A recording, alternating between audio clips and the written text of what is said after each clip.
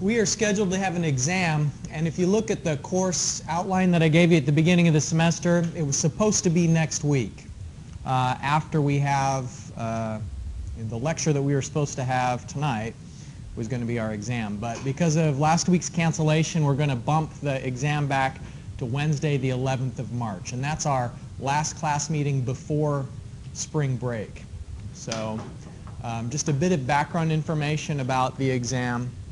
There will be two parts to the test.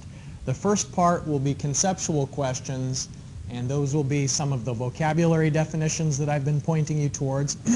It'll be short answers. And on that first part of the exam, you just have to write from memory. There's no notes. You can't use the textbook, no previous assignments. It's just strictly uh, the exam, your pencil, and your brain. Part two is going to be problem solving. And so to prepare for that, you should go through both the in-class exercises that we've solved and also the homework assignments. And on part two, you can prepare an equation sheet. You can put anything you'd like on uh, both sides of the paper. It can be the, uh, the formulas from the, uh, from the homework assignments. It can be, if you'd like, some uh, variable definitions to help you remember what to substitute into the formulas. Really just anything you like, but you can only use that on the second part of the exam. And so you'll complete the first part of the exam, uh, give it to me, and exchange it for part two. And we'll have, um, I think, the better part of our our class period for that. We'll have some of the time for lecture and some of the time for the exam. So uh, I'll give you a, a, few additional details about the test when we meet next Wednesday. Any questions about the test at this point? All right, well, I've handed back the homework assignment that I graded, and um, I've posted the solution to uh, homework 2 on MU Online, and then you've just submitted homework 3, and that's on MU Online as well. So I thought I'd pull that up and just point out to you where the homework solutions are in case you're not already in the habit of looking for it there.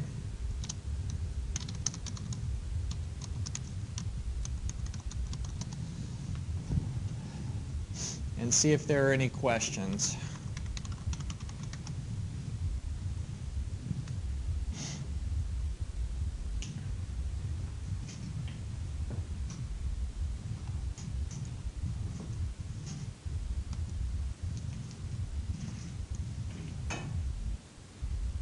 All right, so here's homework two solution, and this is the one that I've just handed back that you've, you've already had graded. And um, so does anybody have any questions that you'd like to ask before we get into today's lecture just related to the ideas from homework two, which you just got back? Let's see if we zoom out a little bit. It makes it a bit easier. Remember on this one, we started off talking about how many generations of bacteria there had been in a certain amount of time. Um, then based on the mass per cell, you calculate the total mass of the entire colony. Um, and I guess probably the trickiest idea on the homework, the, as I was grading it, the thing that students seemed to struggle the most on was the idea of mass balance. And so here we, in this box, what we're doing is we're representing a reactor or a control volume where we're going to be keeping track of what goes in and what goes out of this control volume. And what we know from uh, that idea is that the change in COD from in versus out is related to the amount of oxygen that's consumed. And so when we knew that there's a certain amount of casein, which is just a carbohydrate that the, the bacteria inside the reactor are consuming, if there's a certain amount of casein that's being consumed, then we had a yield here of 0.36, which is how many new cells form per gram of casein. And um, so if, if you uh, struggled on the homework assignment, this is posted online. You can review that before the test. And also, the assignment that you've just submitted, the, uh, the key to that is also available if you want. You know, sometimes as soon as you turn it in, it's the freshest in your mind, and that's when you're in the best position to understand the solution. So here you can go through and take a look at uh, how to do that homework. Feel free to stop by my office if you've got questions after taking a look at it. So what we're going to be talking about tonight in lecture is attached growth and then uh, nitrification, denitrification. That's sort of the bulk of where we're going to be spending our time tonight. And the in-class exercise that we're doing is related to attached growth. So by attached growth, what we mean is um, someplace that the bacteria are growing.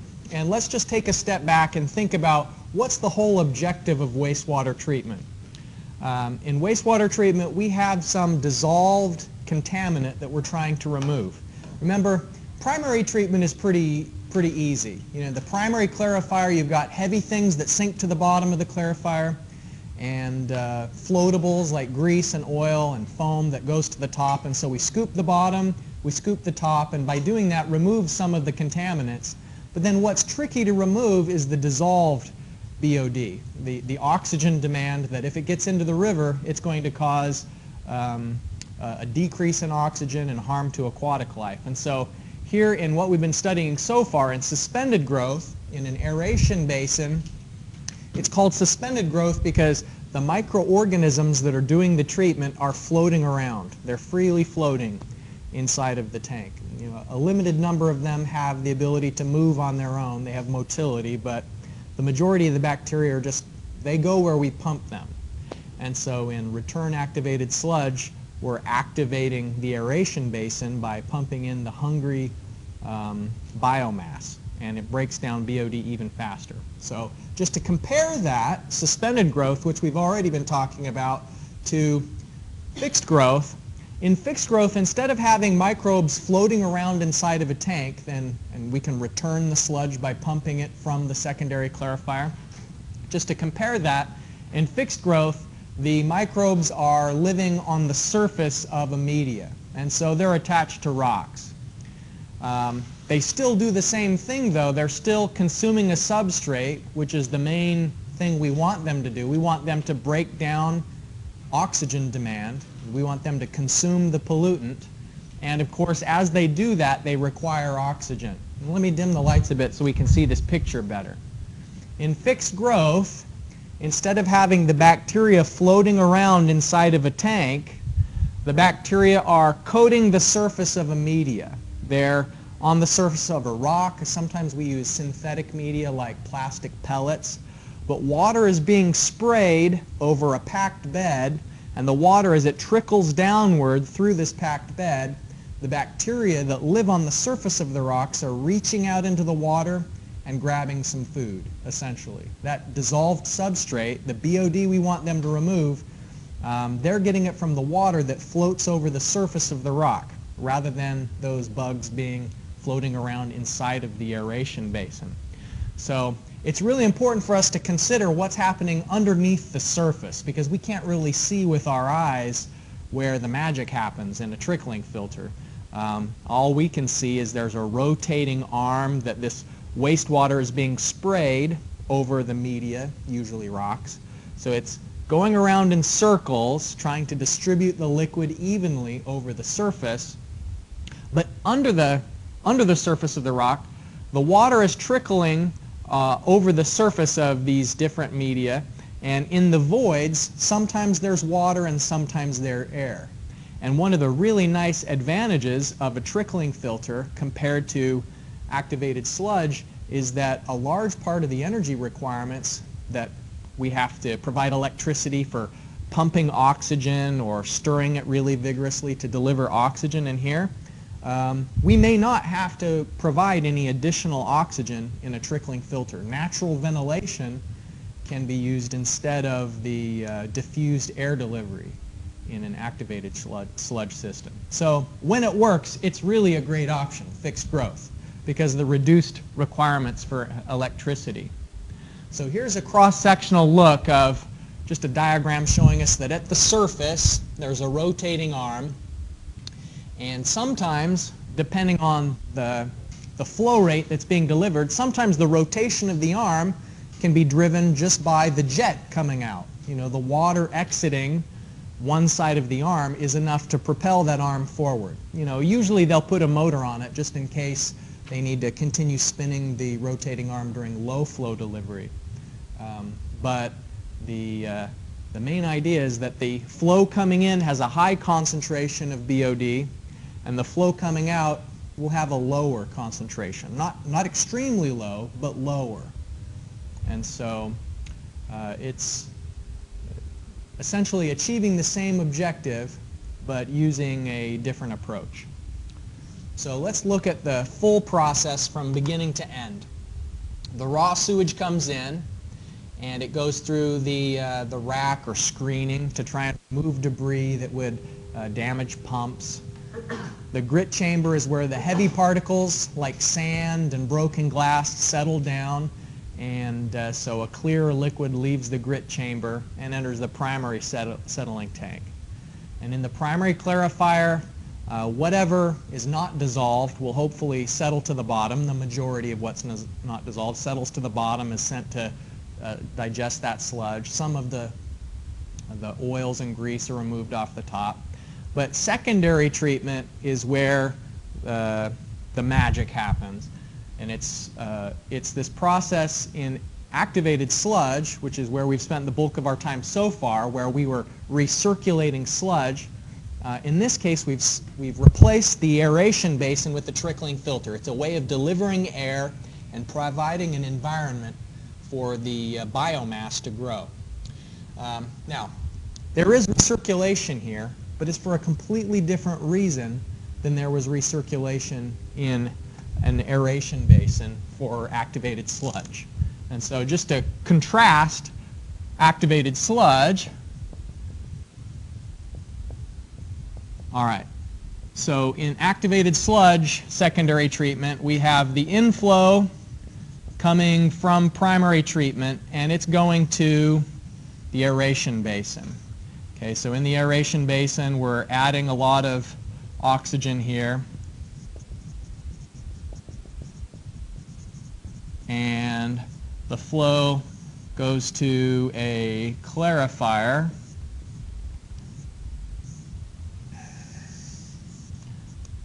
And then there's overflow from the clarifier. So who can remind us why we were recirculating sludge in activated sludge? What's the purpose of that?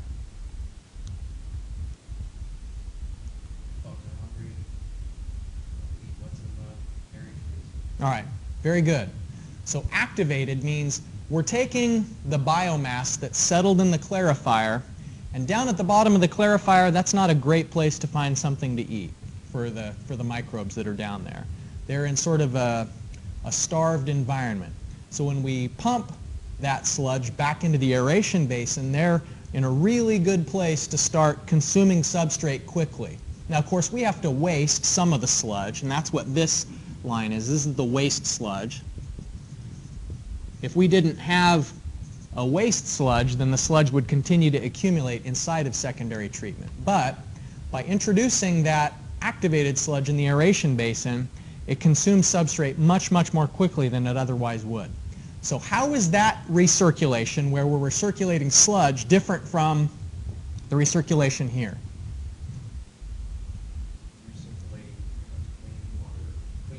Right. Yeah, you'll notice we're not recirculating the sludge.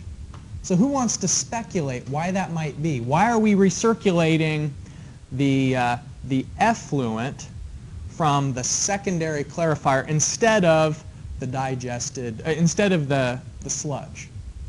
Why recirculate clean water instead of sludge?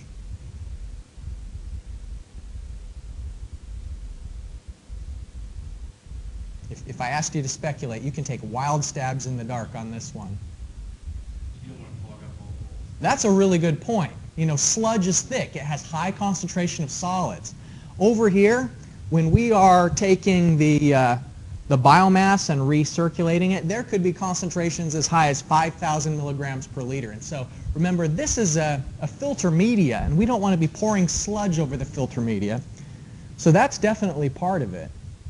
But that's not all of it. There are other, there are other aspects as well. Remember that uh, when we recirculate the sludge, what we're really circulating is the biomass. Where's the biomass here? Yeah, the biomass is on the surface of the rocks. It's like a scum layer that forms on the surface of the rocks. And so we don't have to recirculate the sludge to get biomass in the trickling filter. The, the biomass is naturally living in the trickling filter without us having to add it. And it's going to stay there because the water that comes through there is naturally separate from the biomass. Here in an aeration basin, when we suck water out of the aeration basin, we're sucking out the water and the biomass in equal measure. They're, they're all mixed in together. But here, the water and the biomass are naturally kept separate. So, you know, that's another, another point of it is that, you know, we don't recirculate this, the sludge because we don't have to, and it would be bad operationally.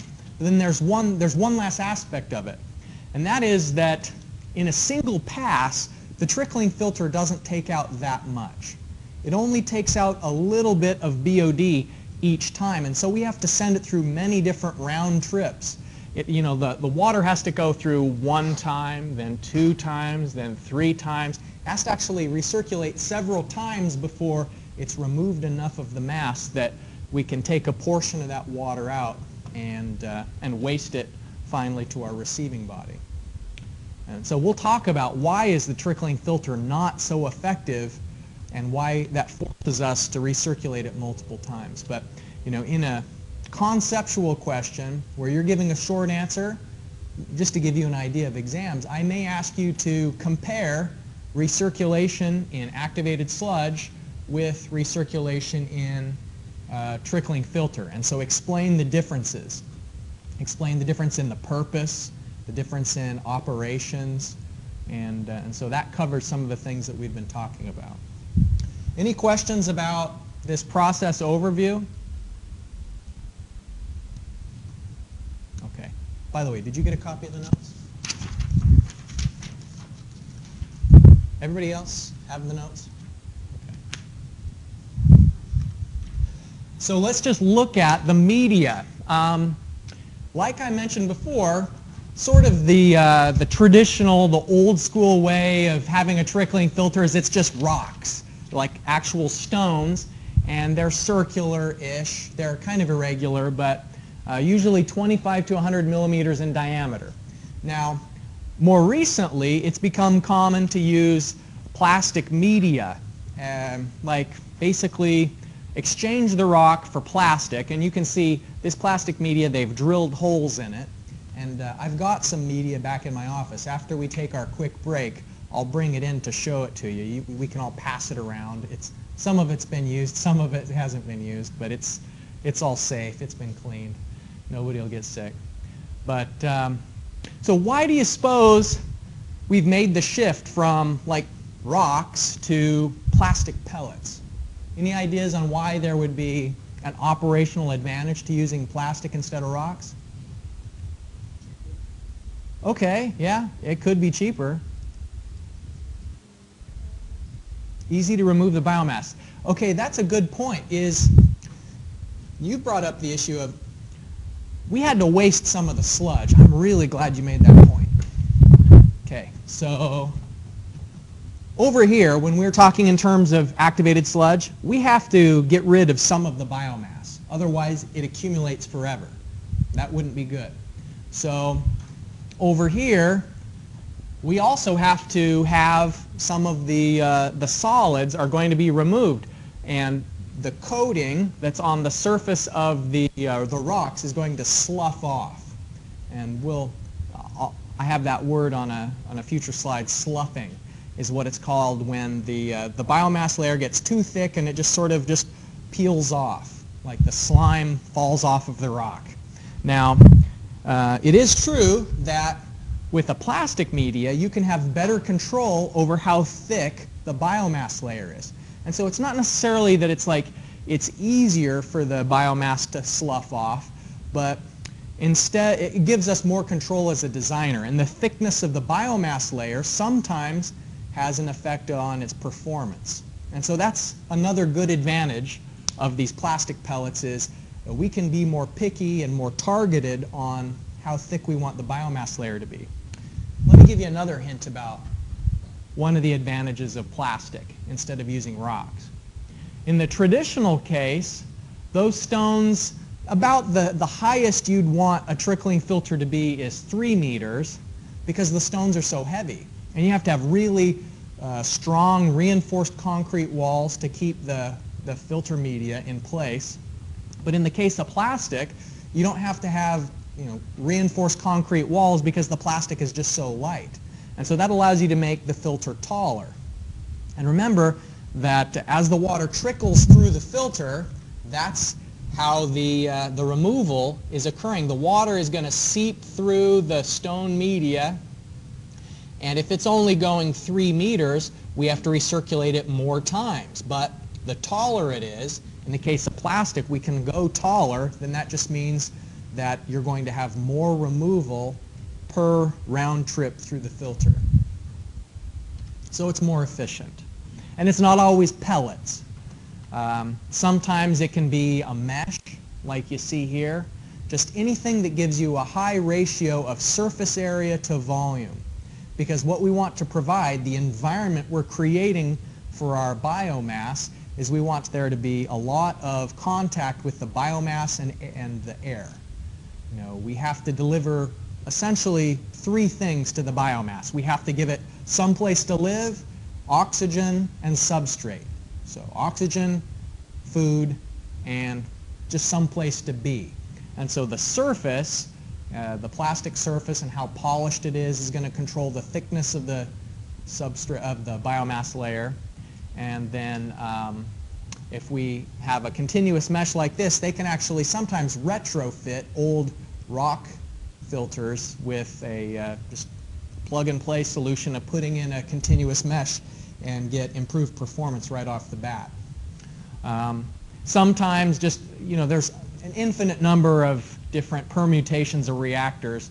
Uh, they've experimented with hanging sheets of plastic as a location for the biomass to grow on. And so then at the top you can see there's a series of sprayers that's spraying the, uh, the water down over the plastic sheets.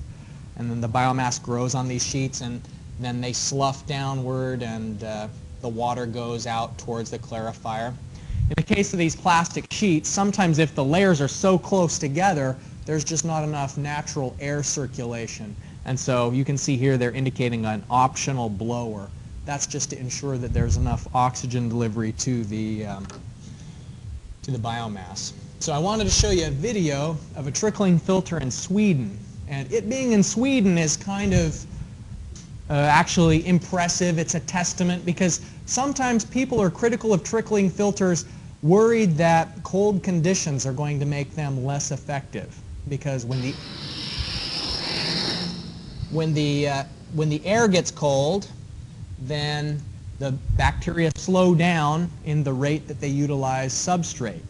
But as we know, Sweden is a Scandinavian country. It's very high in latitude, and it gets very cold in Sweden. And so if they can have a, an effective uh, trickling filter in Sweden, and they do, then we can certainly, in most parts in the United States, have trickling filters work okay for us just, you know, so long as we size them appropriately.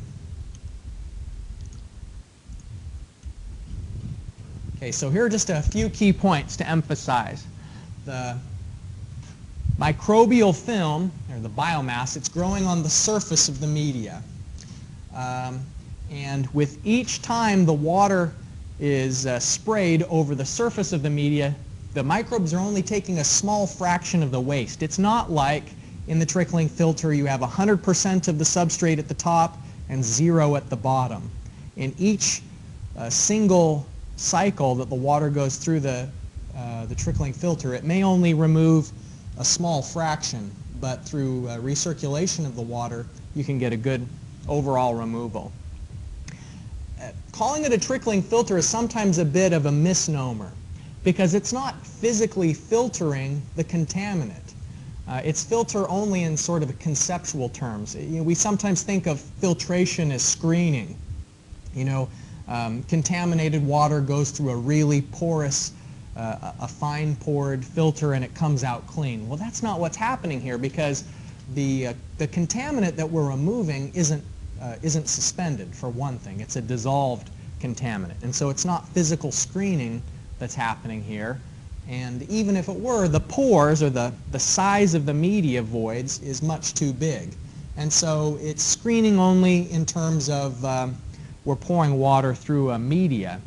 Um, but as the, uh, the substrate is removed and the bacteria grow, then there's sloughing. And this is what I talked about earlier, how um, just when there's too much slime on the rock or on the plastic pellet, eventually it gets too thick, the gravity, uh, gravitational forces will pull it off of the, um, off of the surface and uh, then a, a, new layer will grow. And it's this sloughed off slime layer that is what gets um, settled to the bottom of the clarifier. So we're doing the same thing. We're turning a soluble substrate, which in a million years you can't clarify a soluble substrate by gravity because it's dissolved. By definition, it's not going to settle under gravity. But by having the bacteria consume that dissolved contaminant, then uh, we can settle out the body mass of the bacteria that have grown because you know, that's a settleable solid. And that's removed in the secondary clarifier. Now, this isn't uh, a solution that's always going to be without difficulty. Um, if you have a high organic loading, meaning that you have a lot, a highly concentrated BOD and a small filter area, then you can have the slime growing so quickly and heavily that the pores can become clogged. And if, if the, uh, the size of the filter media is too small, that's another time that the, the pores can get clogged is if you don't have a correct spacing between the uh, filter media. Um, if you're going for natural circulation of oxygen, and it's very important that um, you design that in advance and not just assume that there's going to be natural convection of the oxygen. As sometimes even when you're planning on not having a blower, uh, you sometimes have to put one into place just as a backup to provide oxygen, um, especially in hot weather. Um, because in hot weather, in hot weather, oxygen is less soluble in water, but then the other extreme, in cold weather, the microbes are less active and they're, slow, they're more slowly removing the substrate. And so it's extremes in weather that sometimes cause troubles for trickling filters. All right, so let's get into the theory a little bit more of zoom in on the layer, uh, the slime layer and the filter packing and try and take a look at what's occurring. Uh, there are four things depicted in this slide, and what we're ultimately driving at is we want to understand the rate of substrate removal. And so here you can see I've got units of grams per day of removal of substrate per meter of surface area. And so this is a flux. We're talking about how much mass is getting in through a layer of stagnant liquid and to the biomass. Actually, the microbes would consume substrate more quickly, but what's our, our limiting factor, uh, looking at the kinetics of this, what limits how quickly you can remove the BOD is how quickly the water is able to pass the BOD through this stagnant liquid film. And if you have a very thick liquid film, that slows down the mass transfer even further. So this is sort of the actual depiction of what happens. You can see that there's an irregular thickness of the biomass. Even if you have a perfectly flat filter media, uh, the biomass grows more quickly in some sections than in others. And so you have sort of a jagged, irregular surface. And what that does is it changes the thickness of the liquid film. And it's diffusion of substrate through the liquid film that limits the rate of utilization.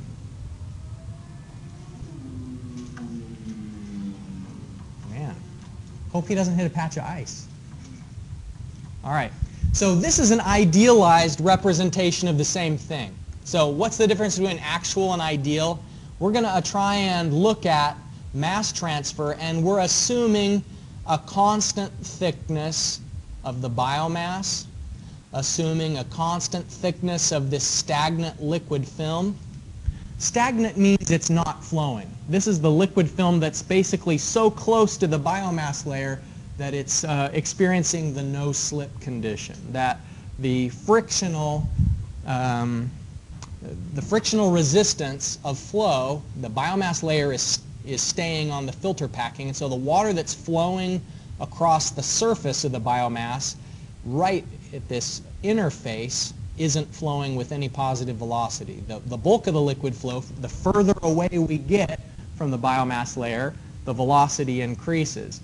But right at the interface of the solid, then the shear stress that the solid is applying to the liquid, which is flowing downward, the shear stress is upward to resist the movement, and so that, that's what causes this stagnant liquid film. And so how quickly the substrate passes through the liquid film is what limits the rate of utilization.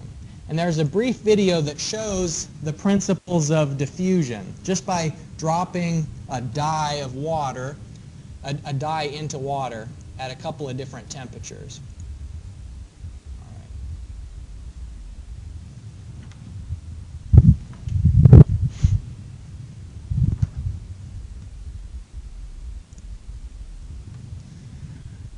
So diffusion is the process of a liquid mixing into another liquid just by molecular action and not by it being stirred.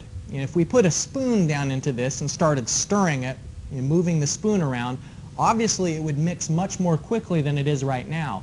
But what you can see is that it's very slowly spreading out through the liquid, the dye is.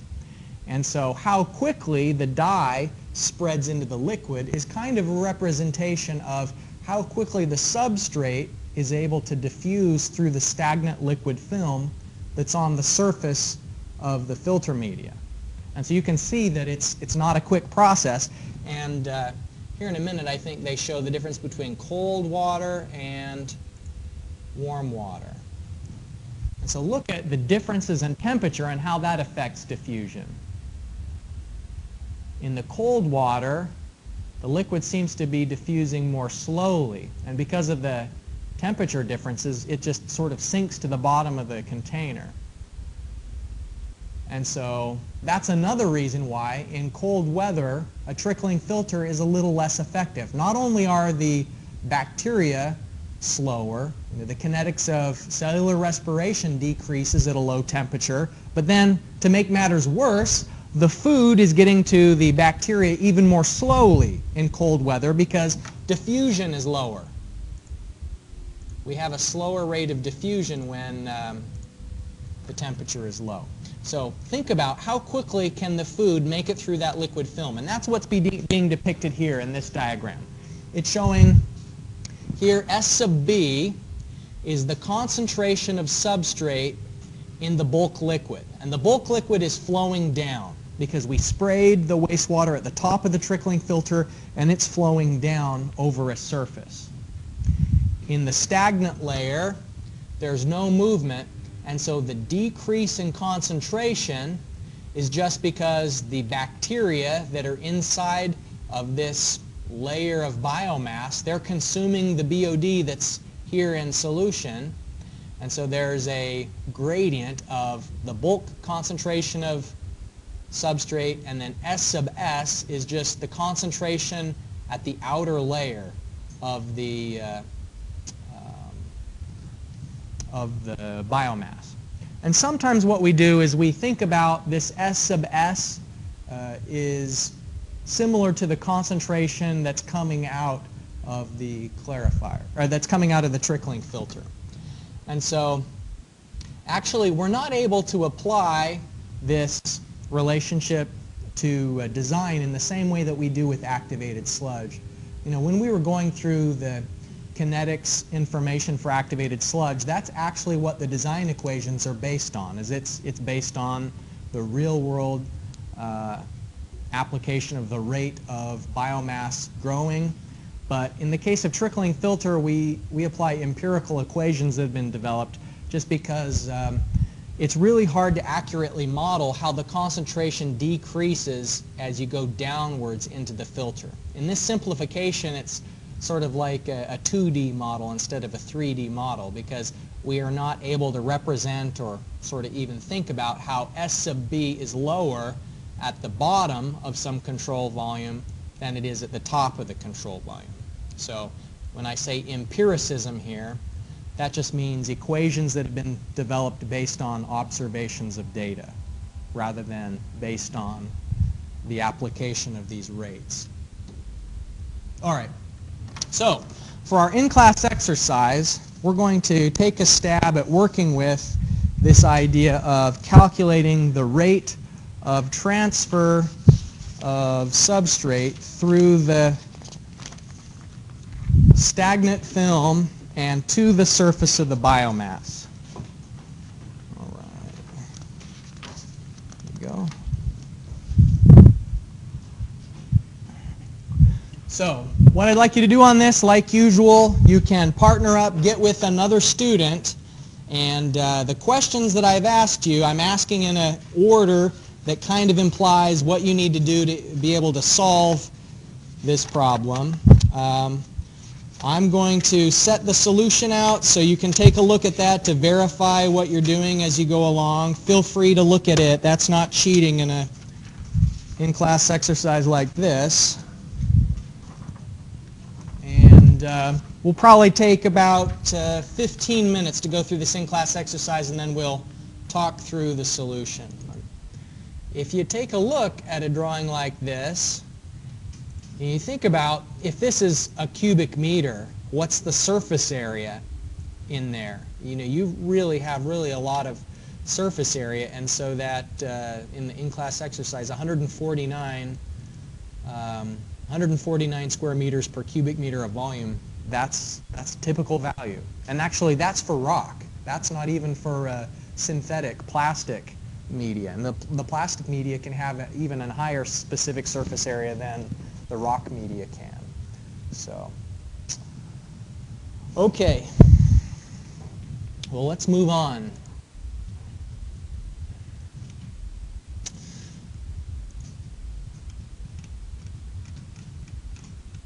Okay, aerobic oxidation. Um, one of the points made in the text in uh, section 7.8 is that it's important to pay attention to the microbiology, regardless of whether it's a trickling filter or activated sludge, that if you take a look at what's living in the solution, that can give you an idea of how the system is behaving and uh, how well it's performing. Even if you weren't going to look at uh, like an assay of toxics in the inflow, or if you didn't have dissolved oxygen meters, you still could get a relative idea of where things are at by looking at the microbiology. And it, it specifically mentions protozoa. And uh, a protozoa may be Cryptosporidium or Giardia. Both of those are sort of famous for being pathogenic to people. They can cause diseases. But there are a lot other kinds of protozoa that will live in uh, wastewater treatment. And they require more than a milligram per liter of dissolved oxygen. But more importantly, they're very sensitive to toxic substances, like if there's discharge from uh, an industrial area. And here in Huntington, we have quite a lot of indus industrial discharges. And so if you typically have protozoa and suddenly they vanish from your wastewater treatment plant, that could potentially be an indicator that some toxic substances have made their way into the treatment system.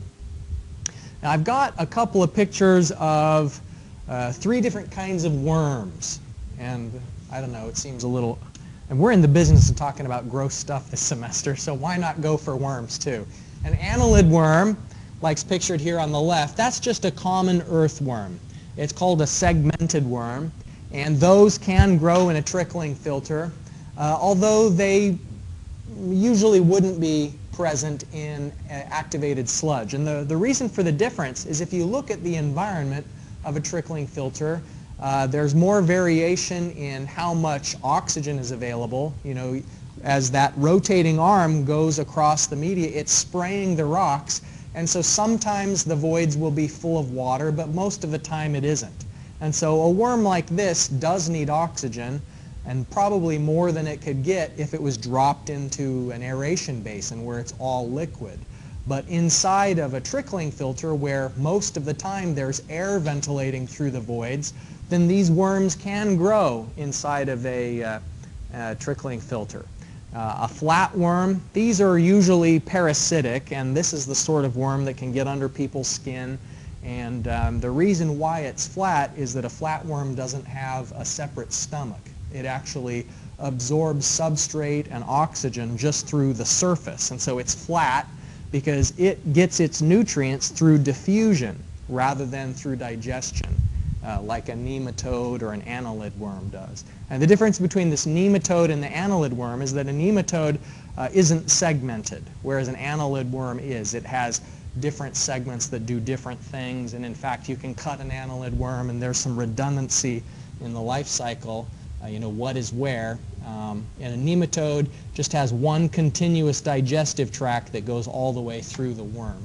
So um, if we look at micro, uh, the, the microbiology, um, an attached growth environment, meaning a trickling filter, that's just a, a more varied environment. It has lots of little microclimates, you could say, inside of the reactor. At the edge of the reactor, there may be some spots that don't get very much water and are especially cool because they're near the edge of the concrete and exposed to the, uh, the surrounding air. Uh, in the center of the reactor, it may be getting more liquid and might be more warm as a result. And so you could have completely different ecology at the center of a trickling filter than you have at the edge or at the surface. And, uh, and as a result, you see different microbiology. Um, this section of the text, section 7.8, also talks about just some of the operational issues that are faced when you are doing secondary treatment. Um, one of the big problems in uh, operating activated sludge is uh, called bulking sludge. And what a bulking sludge is something that won't settle. It has poor settling characteristics. And so both of these are pictures of a clarifier. And in a clarifier, remember, we expect the sludge to be heavy enough that the solid particles will settle downward and then we can collect them off the bottom of the reactor and re-inject it into the aeration basin. In the case of a bulking sludge, if the sludge particles, the solids, don't settle to the bottom, obviously you're going to have a lot of trouble re-injecting it into the aeration basin. And so it's not just annoying, it's not just bad to look at, but it can reduce the concentration of mixed liquor that you're able to um, force into the aeration basin. Now what causes this bulking sludge is um, bacteria that will get into a chain and form these long string-like chains of bacteria and then um, oxygen uh, can um, get sort of interspersed and, and entrained in chains of bacteria and it floats to the surface. In a way, it's a little bit like algae. You know, the reason why you see algae at the surface of lakes is because a lot of algae is filamentous and then oxygen is formed when algae is respiring and that causes it to float in a lake. And so this isn't algae, this is bacteria, but it shares the similar characteristic of being long string chains. The way that you measure how well a sludge settles is something called the sludge volume index. And we'll talk about the formula of sludge volume index in, in chapter 8. We'll have to do some calculations related to it. But just to give you a, uh, an early exposure to what is sludge volume index, that is how much volume is occupied by a certain mass of sludge. And what we want is we want sludge to settle so well that it doesn't occupy very much of a volume. We like to have a sludge volume index so that the, the sludge is packed down low at the bottom of the clarifier and not uh, settling poorly. So how do you prevent this operational concern? Um, sometimes the, uh, the issue is as easy as just increasing the dissolved oxygen. So adding more diffusers or increasing the flow rate of air to the diffusers. Um, sometimes it's because the F to M ratio is too low. Who remembers what F and M stand for in this ratio? Very good. Exactly right. So F, the food is the substrate. So BOD concentration is F. And the M, we're talking about the concentration of uh, biomass. So in our formulas, that's X. the mixed liquor volatile suspended solids. And so what you need to do is give it more food because uh, oftentimes you'll see bulking sludge when there's too much microorganisms for not enough food. Um, sometimes it happens because the nutrient balance gets out of whack, like there's not enough nitrogen or phosphorus. And uh, it can also be related to grease and pH. So it's just uh, usually you can make small changes in inflow characteristics and avoid bulking sludge. Now foaming, on the other hand, is a lot more difficult to control. Uh, the book is talking about how foaming is a biological process, and there's lots of different bacteria that will cause foaming. One of the more um, well-known is nocardia. It causes foaming. There are others that are more common, but nocardia foam is famous because the foam that nocardia can generate can be very thick. Um, and so to avoid this biological process from occurring, sometimes it's happening because the solids retention time is too high. And remember, in an activated sludge, we have two kinds of retention time. There's the hydraulic retention time. Um, that is just how long is the water spending inside of this as it flows through the aeration basin and the clarifier and then exits. So the hydraulic retention time is one thing, but the solid, since they're recirculating, the SRT is usually much longer than the hydraulic retention time. And so if the SRT is too high, that favors some of the uh, bacteria that cause foaming. Another thing that's, select, that's suggested for controlling foaming is what they call selectors. and this is the idea, um, like what's the old saying, like they had rats on an island and so they released a ferret and then the ferret kills the rats but now there's too many ferrets and so they release dogs and the dog get the ferrets, but now the dogs are uh, tearing up the grass and the species. And well, anyways, a selector is a bacteria that will kill the nocardia, or you know, it's it's some sort of another microorganism that's going to prey on whatever um, microbes are causing the unwanted foaming. So since this is a controlled environment, it's not, you know, Earth's ecology. So we don't have to be as worried about things getting out of balance in a wastewater treatment plant as we do as, say, you know, they really don't want to release a foreign species onto, uh, you know, Hawaii. They don't want to introduce uh, uh, invasive species there. So, you know, this is already our engineered environment, so we don't have to have the same anxiety about introducing selectors. But that's what it is. A selector is just a different bacteria that will compete uh, and will eventually outcompete the uh, bacteria that cause problems. All right. So the last thing we're going to be talking about tonight, we're going to spend the rest of our time on this, is um, uh, nitrification and denitrification. And it's, it's one of the really interesting ideas in wastewater treatment. I think like the first really big interesting idea that we talked about this semester was recirculating sludge. And that's something that was only invented about 100 years ago. Before that, nobody really knew how to remove all the BOD from wastewater.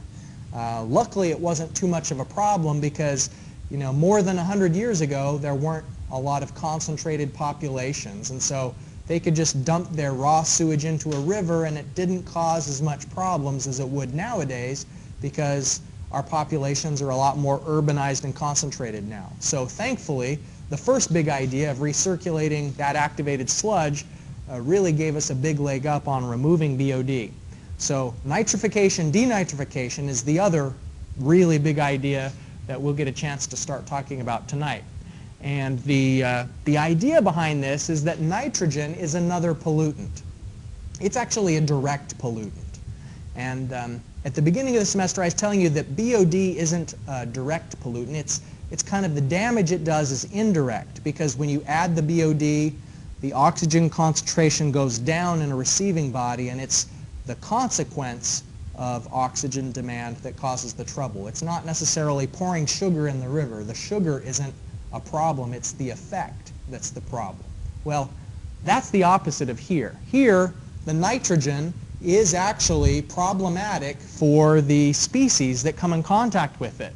Ammonia is toxic to fish and other aquatic organisms. So that's one of the reasons why we need to remove dissolved nitrogen from wastewater before we discharge it.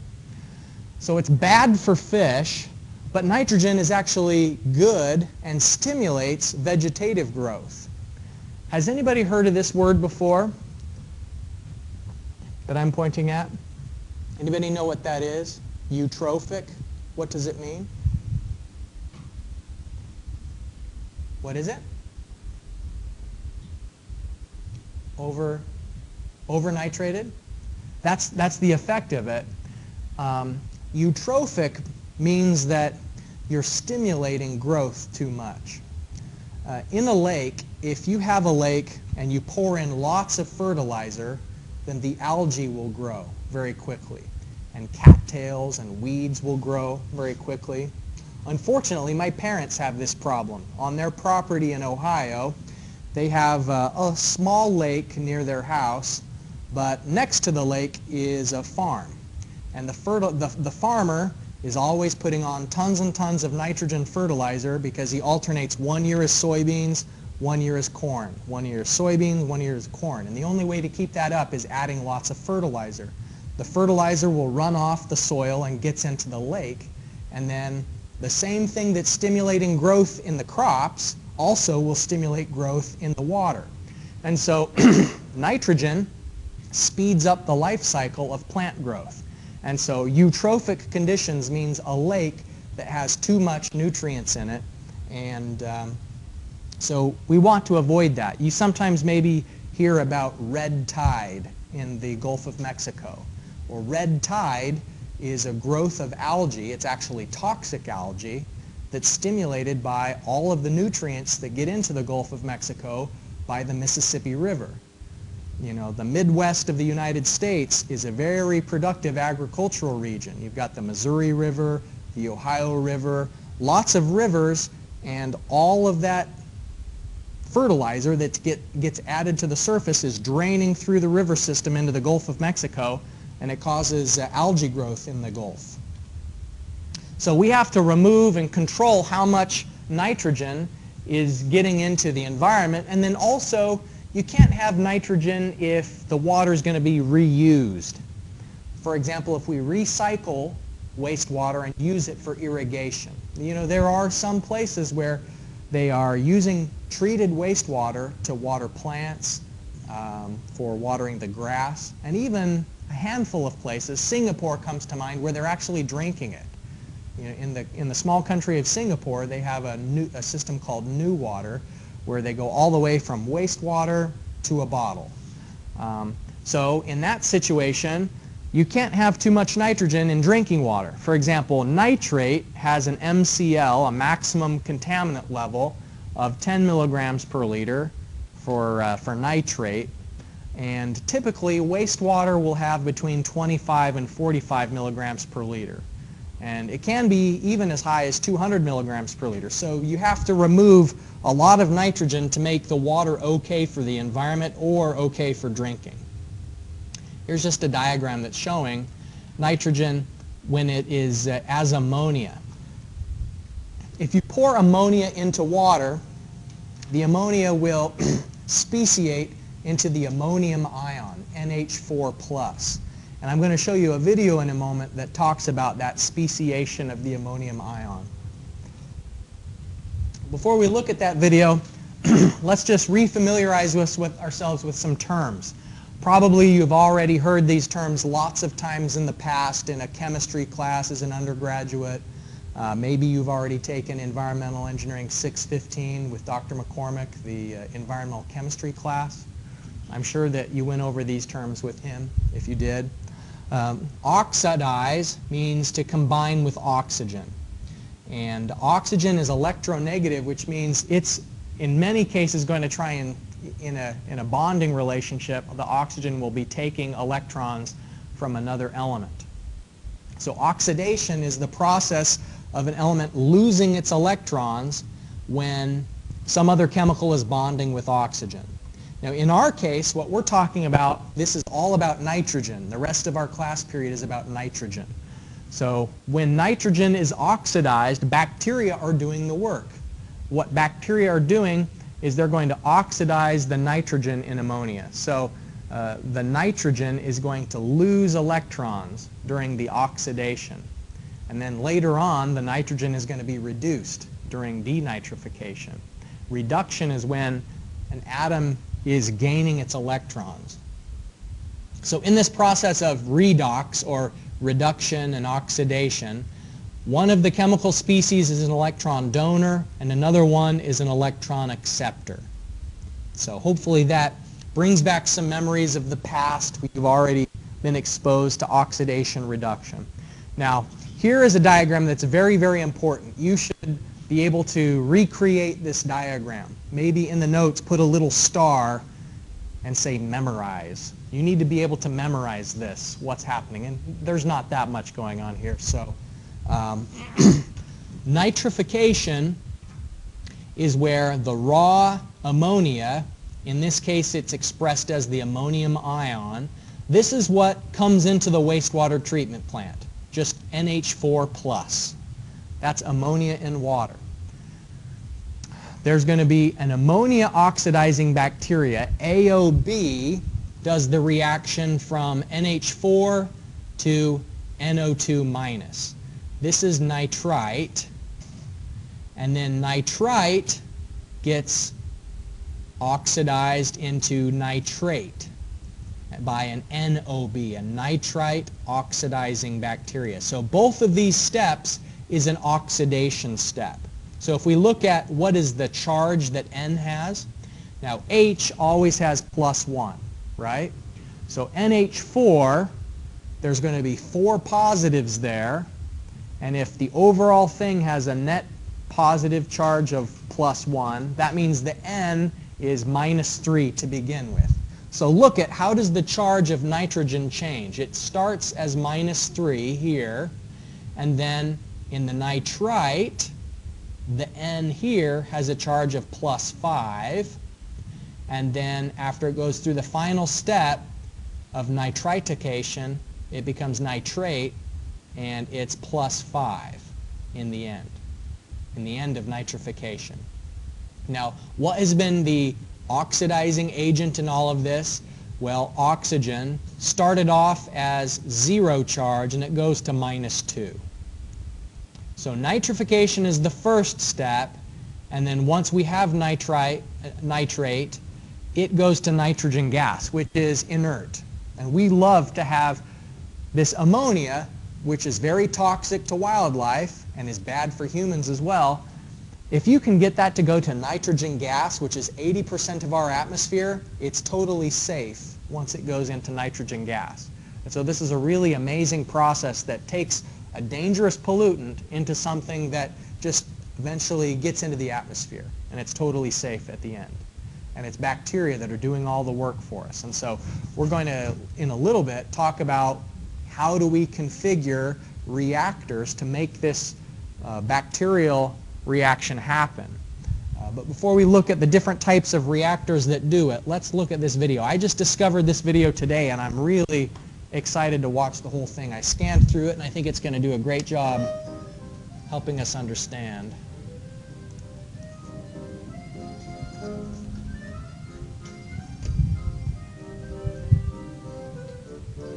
Much like carbon, nitrogen follows a basic pathway in a continuous cycle. This cycle is critical to all living organisms that have existed or will exist on the planet. Wastewater treatment plants play a critical role in reintroducing nitrogen back into this cycle with limited environmental impact. High levels of nitrogen entering natural waterways can result in toxic conditions for wildlife, dissolved oxygen depletion, and excessive algae growth, all harmful to local plant, animal, and human populations. Nitrogen enters wastewater through various pathways.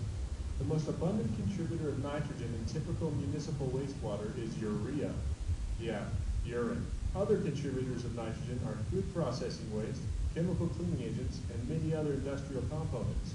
Nitrogen is present in wastewater in various forms, which have been lumped into separate general categories. Nitrogen in the form of ammonia is ammonia nitrogen. There is also nitrite nitrogen and nitrate nitrogen, which are usually formed during the actual biological processes at the wastewater treatment plant. In addition to these forms, nitrogen makes up a small percentage of the cell mass of the organisms in the system, as well as other dissolved organic compounds. This category is referred to as organic nitrogen, of which a certain amount typically cannot be removed through the biological processes that will be described in this video. Total nitrogen, as the name implies, is the sum of all types of nitrogen. TKN, or total Kjeldahl nitrogen, named after the scientist Johann Kjeldahl, is the sum of only organic nitrogen and ammonia nitrogen. TIN, or total inorganic nitrogen, is just as the name implies, the total nitrogen minus the organic nitrogen. In simplistic terms, nitrogen in various forms is flushed, rinsed, or otherwise introduced into the sewer system. Almost all of this organic nitrogen, urea for example, is immediately hydrolyzed into ammonia. In water, gaseous ammonia, NH3, is almost entirely converted to ionized ammonia, or ammonium, NH4+. Specialized autotrophic bacteria, or nitrifiers, convert the ammonium to nitrite, NO2, and then to nitrate, NO3, through various biological processes. As dissolved oxygen is depleted by the nitrifiers and other organisms in the basin, other specialized heterotrophic bacteria, denitrifiers, are able to thrive by using the oxygen attached to the nitrate molecules for respiration, creating nitrogen gas as a byproduct. The nitrogen gas then simply bubbles out of the water into the atmosphere. Pretty slick, right? Well, let's go back to the beginning and take a closer look at each of these important steps in the nitrogen removal process. First, as a natural reaction in an aqueous solution, or in water, the vast majority of the organic nitrogen immediately hydrolyzes into ammonia. Most of this ammonia automatically converts to the ionic form ammonium. The equilibrium between the gaseous and ionic forms of ammonia is heavily impacted by the pH of the water. A more acidic solution will favor the ionic form ammonium.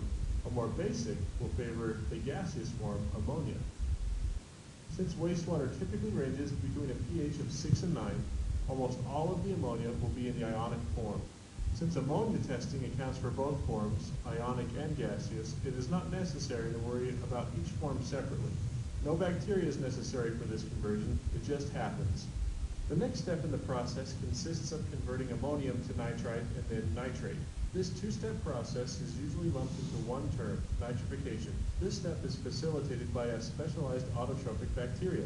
So what does autotrophic mean? There are two broad categories for how organisms obtain carbon required for growth, autotrophs and heterotrophs.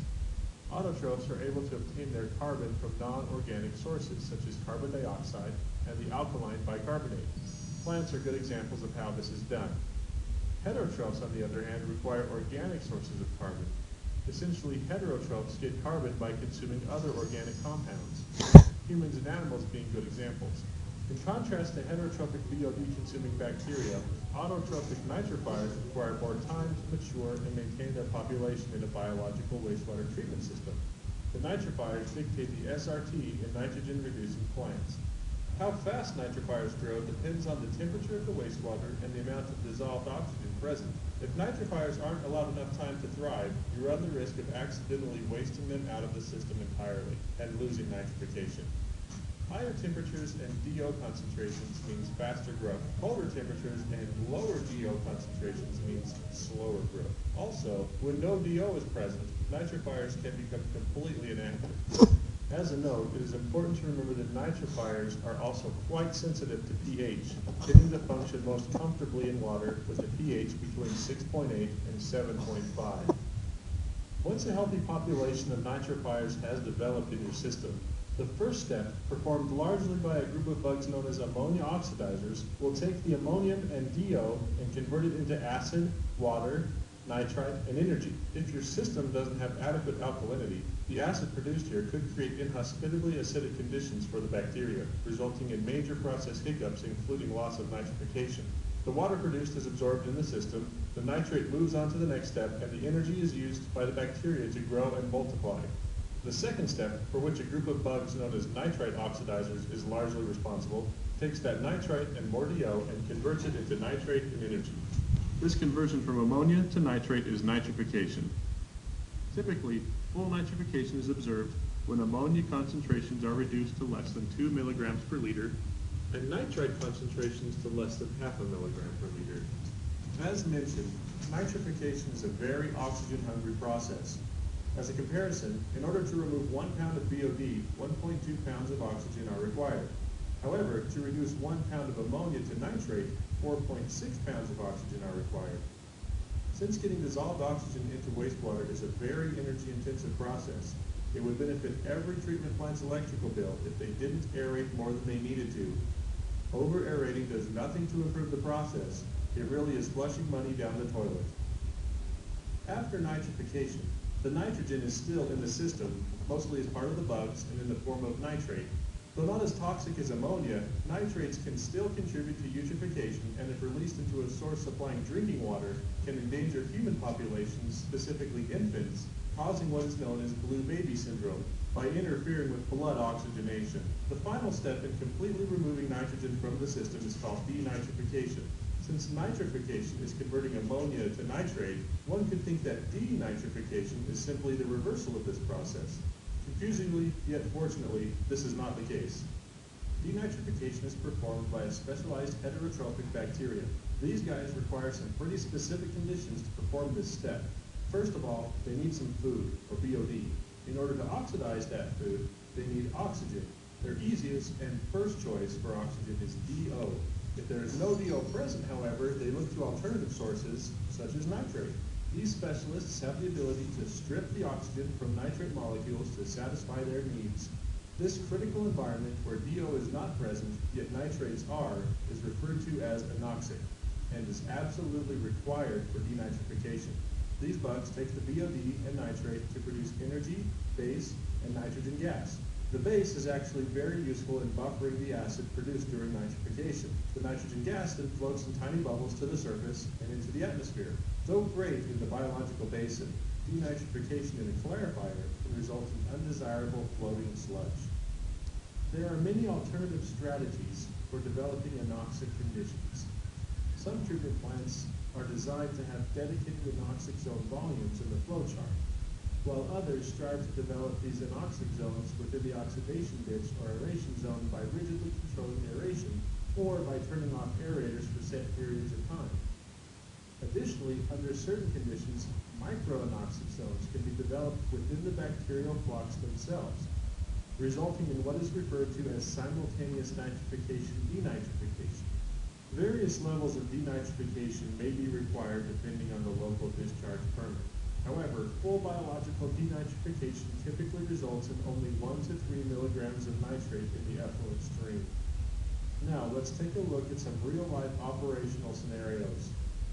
During your routine operational sampling, you notice that the ammonia in the effluent is beginning to rise above 1 All to 3 right. milligrams per liter. I don't think we'll do these operational scenarios, but man, I really, really like that video. I mean, that they need to get the Academy Award for wastewater videos. Um, that one was really good. A lot to take in, though. He was talking quickly, right? So let's just review some of the ideas that were presented there. Um, so it's a multi-step process. There's some bacteria that take the ammonium and turn it into nitrite, and then different bacteria that take nitrite to nitrate. And one thing that he mentioned is that acid is generated during this process, and so this H plus is going to uh, turn into an acid, and so it's consuming alkalinity. Alkalinity is defined as the quantitative capacity to uh, buffer an acid. So, you know, um, dissolved uh, carbonate or um, uh, alkalinity can be consumed in the form of the OH that he was talking about during denitrification. So one thing to keep in mind is that if the alkalinity is low of the water that's being treated, then the pH can change during nitrification. Um, and in addition to all of this, there are some trace nutrients that are required during nitrification as well. So when nitrification is accomplished in a single stage, uh, what we're trying to do is have both BOD removal and nitrification in the same aeration basin. Now, remember that this is a two-step process. There's nitrification and then later on there's denitrification. We couldn't have denitrification in here because as the video is mentioning, denitrification requires anoxic conditions. And so in this aeration basin, there wouldn't be any anoxic conditions. Maybe, potentially, there could be anoxic conditions at the bottom of the clarifier, possibly. But all we're focusing on so far is the conversion of ammonia into nitrate. Um, in this in this single stage nitrification, it's a slow process. Nitrification is slow, and so if you have a single stage process like this, then the aeration basin has to be relatively large. And to avoid that, uh, to avoid having a unnaturally large aeration basin, sometimes they'll instead use a two-stage suspended growth nitrate, uh, nitrification. So um, the, uh, the benefit of a two-stage operation like this is that BOD is removed in the first stage, and it can happen at a much faster rate than nitrification. And so this first aeration basin doesn't need to be as large. And then the second aeration basin focuses mostly on nitrification. And so it, it's not that the, uh, in, the, in the case of this first aeration basin, there's different bacteria competing with each other at the same time. Because if you have a single stage, the bacteria that break down BOD are trying to exist in the same environment as the bacteria that are converting ammonium into nitrate. And so that's not an uh, ideal arrangement. In this case, you can have a more specialized environment and keeping the two different species of bacteria separate allows you to control different recycle rates because you see in both, both of these instances, there's a return of activated sludge. And so by keeping the, solu uh, the soluble BOD removal and the nitrogen removal separate here, you can have independent recycle rates. You can have different aeration rates so that you don't have to have a wasted uh, amount of aeration. As it said in the video that it just is increasing your electric bill if you over aerate the, uh, the bacteria. And so it gives you a lot more flexibility to have a, a two-stage suspended growth. And then the even more fancy version of two-stage suspended growth nitrification is what's sometimes known as an AB process. Now, in an AB process like this, here is an anoxic chamber before nitrification. So in this case, having a pre-anoxic chamber, as it's known as, before nitrification, it kind of primes the bacteria for a quicker uptake of nitrogen later on. Um, if you starve bacteria for a while, then they're going to be even more aggressive in consuming the substrate once they get the opportunity. And so that anoxic mixed chamber here is, uh, for one thing, it's doing perhaps a, a little bit of denitrification because it's an anoxic environment. But then the bacteria who aren't denitrifiers, who are instead focusing on nitrification, enter the aeration basin for nitrification uh, even more aggressive in removing the ammonia. Um, so just a bit of information about kinetics here. Um, there is a sort of a transition zone where the, uh, the conversion of ammonia into nitrate is what's fastest until you get up to 28 degrees Celsius. But when you get above 28 degrees Celsius, then uh, that's not the rate limiting state, uh, step any longer. The, uh, remember that, let's go back to our main chart, this one that you're supposed to memorize. It's a two-step process. First, ammonia to nitrate, uh, nitrite, and then nitrite to nitrate. And so what we're saying, saying here in kinetics is that up until 28 degrees Celsius, it's the first one that's rate limiting. The slower process is the AOB. But up through, uh, up once we get beyond 28 degrees Celsius, then you have to consider the kinetics of both of those parallel reactions. Um, And then the other thing is just ensuring that there's enough dissolved oxygen. And so uh, getting any more than between 3 or 4 milligrams per liter of oxygen is kind of wasteful in nitrification because above that concentration there's no additional removal. The, the rate increases as you're increasing up until 3 to 4. But if you have, if you're going to, trying to maintain 10 milligrams per liter of dissolved oxygen, you're not going to get any additional benefit than if it was only up to 4. But below 0.5 milligrams per liter, the reaction of nitrite to nitrate, which is the second of those reactions, is inhibited more than ammonia to nitrite. And so you'd have uh, an accumulation of nitrate, uh, I'm sorry, you'd have an accumulation of nitrite if the DO is too low.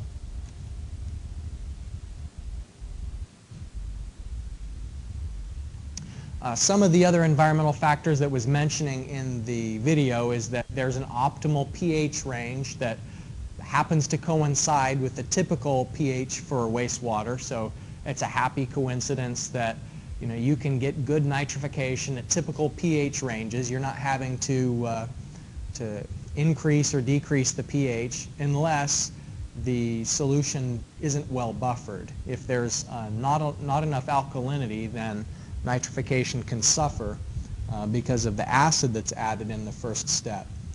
Um, but one thing that you have to be aware of when it comes to the toxic materials is that the same organic materials that can slow down BOD removal also can inhibit the nitrification. And so nitrification uh, is a very sensitive process uh, that those organisms are killed off more quickly than the organisms that are utilizing BOD.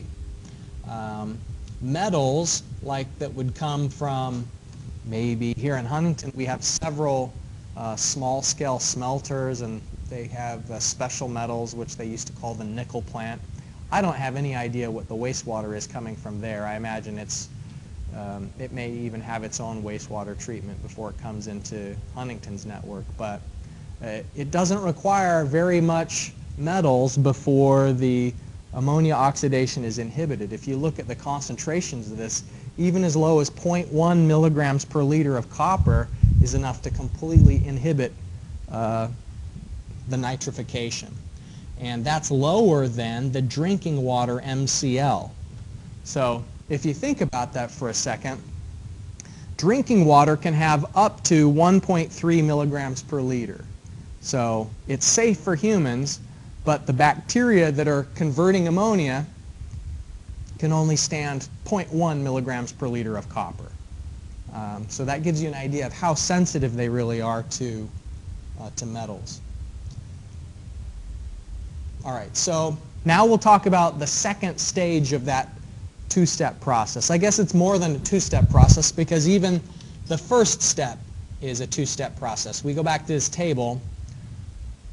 There's nitrification, then denitrification. And within nitrification, there's two steps. There's ammonia to nitrite, nitrite to nitrate. And in an exam, I, I think it would be a, a pretty fair question for me to say, write the chemical formula for nitrate. Then you'd need to know that nitrate is NO3 minus. Or you'd need to know that nitri nitrite is NO2 minus. Um, so it's two stages within nitrification and then the, the processing of nitrate into nitrogen. Um, so in denitrification, what we're going to be focusing on is the conversion of these two constituents, nitrite and nitrate, into nitrogen gas. Now only a little bit. It's a very slow process from nitrite directly to nitrogen gas. They're showing that there is a way for it to go from nitrite directly to nitrogen gas, but it's far more common. Instead, the preferred route is from nitrite to nitrate and then from nitrate to nitrogen gas. And so the, the main route is ammonia nitrogen, nitrite, nitrate, and then nitrogen gas through denitrification. So if you follow what is the charge of nitrogen through this step, remember that in ammonia, nitrogen has what charge? If it's NH3, then what is the charge of nitrogen when it's as ammonia? Right. So it's negative 3. Ammonia, uh, the nitrogen is negative 3 here. What's the charge of nitrogen when it's in nitrite? Positive 3. And then positive 5 when it gets to nitrate. And then when it gets into nitrogen gas, it's back to 0. And so all of these first steps, when we were at uh, negative, positive, positive, what we're doing is we're taking away electrons. And now in the final step of denitrification, we're adding electrons to get it back to a charge of zero. So denitrification is an anoxic process. They, they showed a couple of different little diagram of bugs in that video that we watched. And the, the last bug was like the really big sort of chunky one. And it was showing that as a bug that likes, well, it doesn't necessarily like anoxic conditions. It's that it can handle anoxic conditions. It made the point that it prefers oxygen.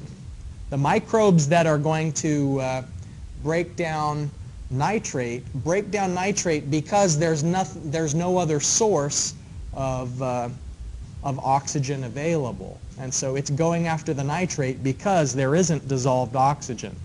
And so in what's called a pre-anoxic denitrification, we have return activated sludge being added here to get a nice concentration of, uh, of microbial mass. But then in this case, you're also having a parallel recirculation of just the liquid from the aerobic zone into an anoxic zone. And by having the nitrate feed, just some of the water that is this in the aerobic zone, it's already experienced the nitrification reaction. So the ammonia is being converted to nitrate here in the aerobic zone, re-injecting a portion of it into the anoxic, which just means there's no aeration then that is where the denitrification is going to occur. And denitrification, we can say that it's, I put fast in quotes. It's actually, you know, not literally fast, but in this, this particular configuration, it's happening faster than it would otherwise because there's BOD available.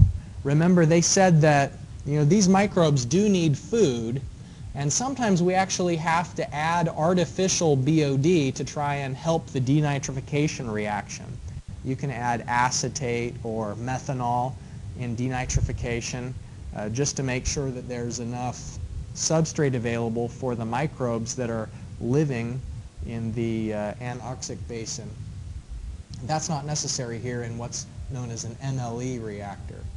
But in a post-anoxic denitrification, um, what you'll see is that there's aerobic, and in the aerobic phase, it's breaking down BOD, and it's also um, going to be converting nitrate, uh, ammonia into nitrate, and then in, in, the anoxic zone, it's going from nitrate into um, nitrogen gas. And the problem here, having it post-anoxic, is that now the carbon source is reduced. And so there isn't as much BOD, there isn't a substrate available, so sometimes they'll add an external carbon source to increase the rate of denitrification inside of the anoxic basin. And this is sometimes known as endogenous denitrification.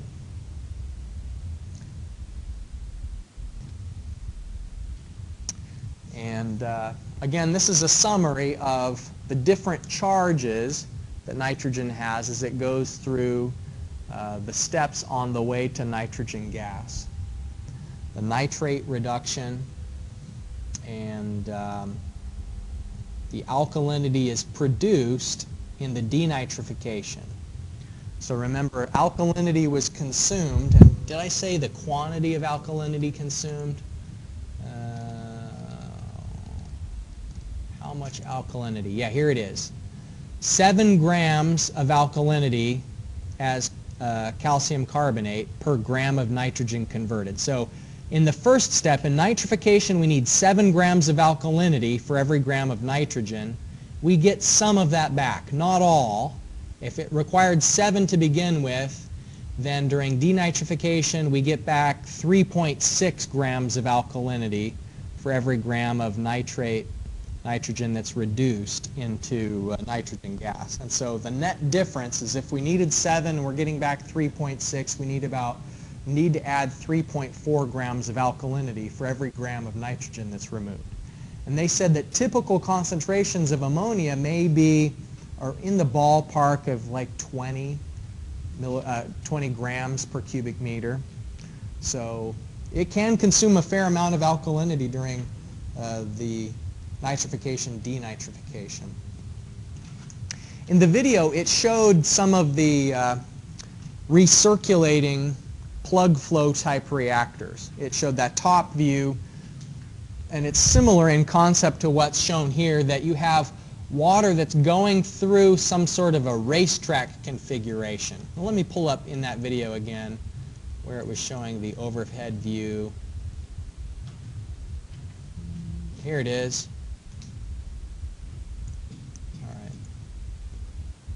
So it'll show an overhead in just a moment.